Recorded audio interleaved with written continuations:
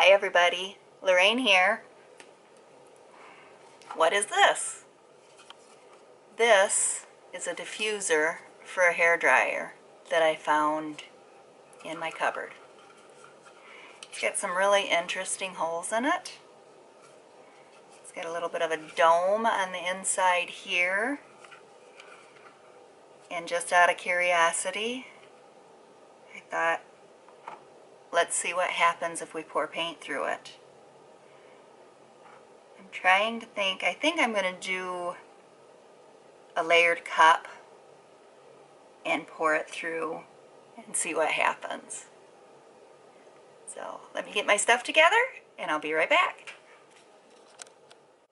Okay, so pulled out some colors here. I have a Master's Touch Light Magenta. I have an orange. Um, this is an emerald green. This is a lighter green, um, green blue. It's called Viridian by Master's Touch. And I have some primary red mixed up. I don't know how these colors are going to look together. They kind of look nice sitting next to each other, but we'll see. Um, some white. I also have some pearl white I might put in there just for a little bit of a sparkle. So let's think here. I think I'll start by putting a little bit of the pearl down first in my cup. Go with the emerald.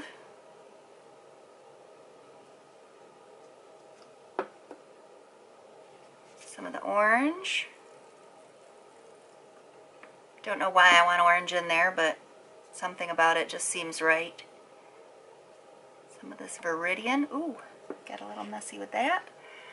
Um, just a touch of red. Red is not one of my favorite colors. It takes over everything. Um, I don't think I put any of my light magenta in there. A little more of the pearl.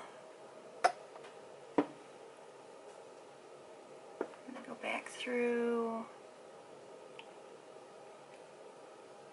This is an 11 by 14 canvas.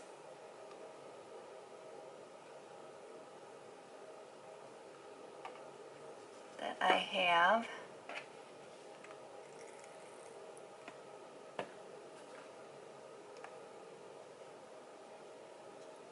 A little more red in there.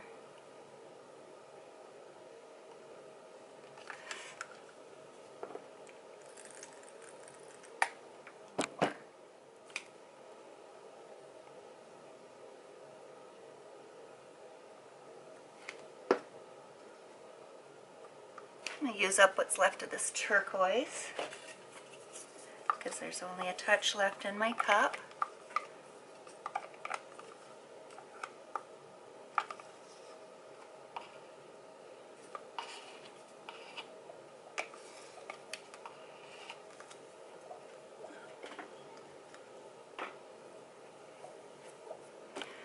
Okay, that's mixed up. I'm going to start with a puddle white.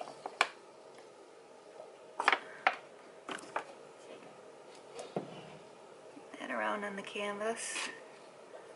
Spread it out a little bit. I have no clue what this is going to turn out like. I'm kind of excited to see. And then there's my diffuser for the hair dryer. If I don't have enough in the cup, I figure I can always add something that's pre-mixed. So here we go. Let's see how this turns out.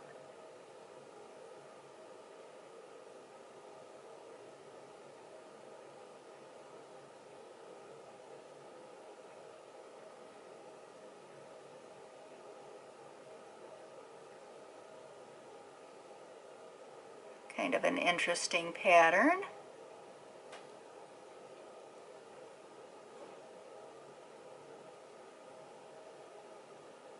And like I said, the red is really seeming to take over here. That's okay.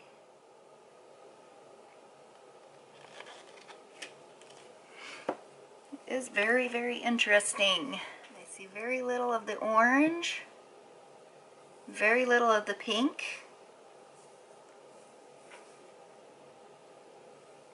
Just kind of want to, I'm hoping it will just kind of start spreading a little bit on its own.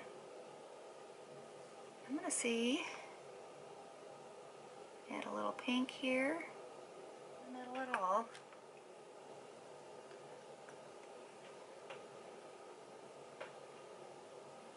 Trying to see if I can get some of the pink to drip out of each one of these little holes. Add some of the pearl on top.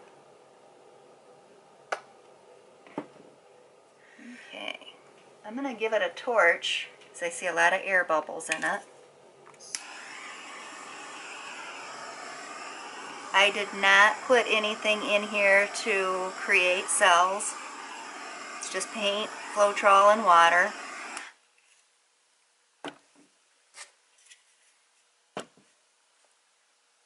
Let's pick it up and see here. Carefully so I can get it straight up. Oh, that's pretty neat. The way that pink and pearl went together there. Interesting. It's tilted a little bit. You know, there's way too much paint on there.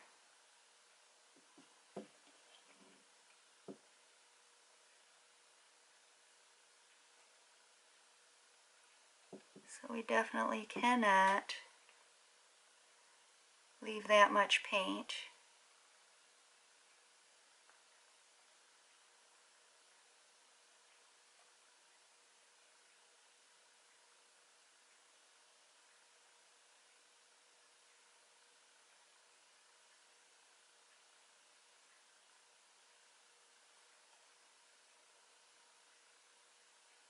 Trying to maintain that center a little bit so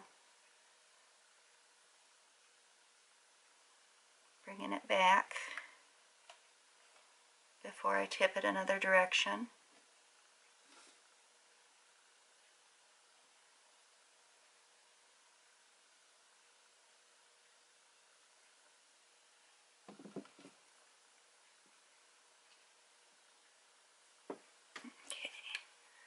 Some white on the edges here. Give it something to cling to.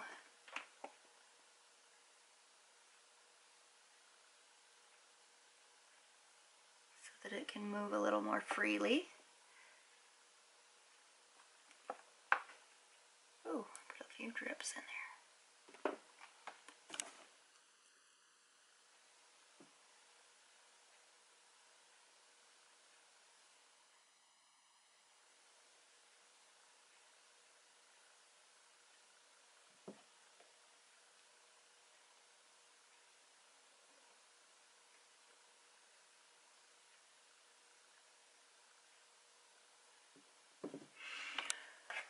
Made myself an edge catcher out of a piece of plastic book cover here.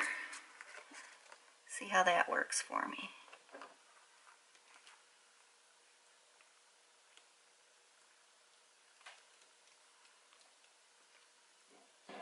Try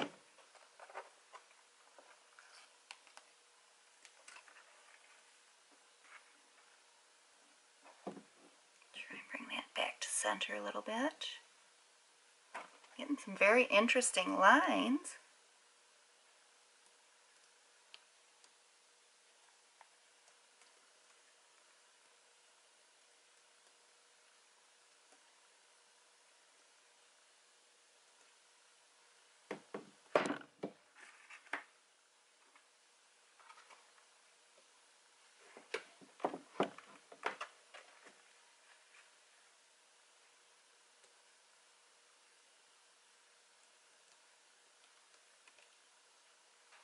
Throw that back. There we go.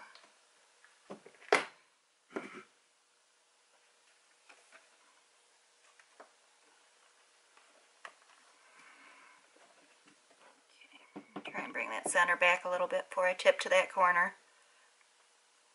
The pink and the um, the metallic white there, the pearl, look like little roses in the middle. Pretty interesting. Run that down to this corner.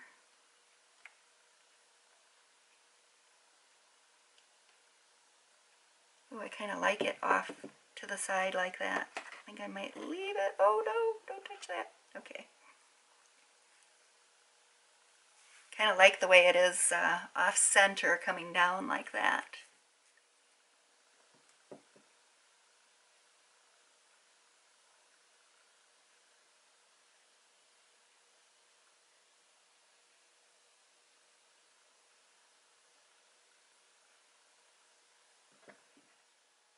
Like I said, I wasn't sure about those colors together. They're not terribly bright. They're kind of subdued colors around the edge, but it has that nice brightness in the middle. Kind of want to go in with a skewer and bring some of that pink to the center. But I'm a little bit afraid to move it around. Let's see what, just do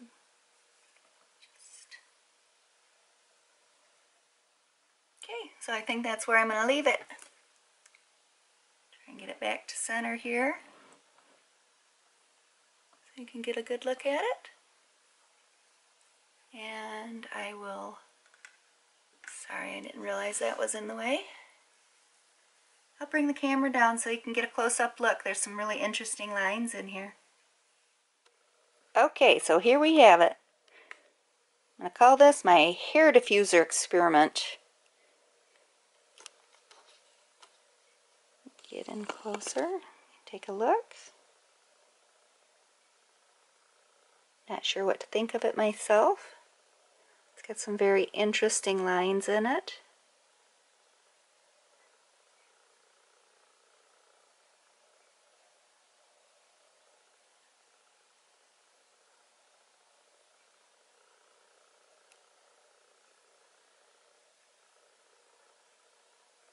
Bring that up. Try and zoom you back out here. Well, there we have it. Interesting outcome. I hope you like my videos. Appreciate you watching. Please subscribe. And thanks again. Bye.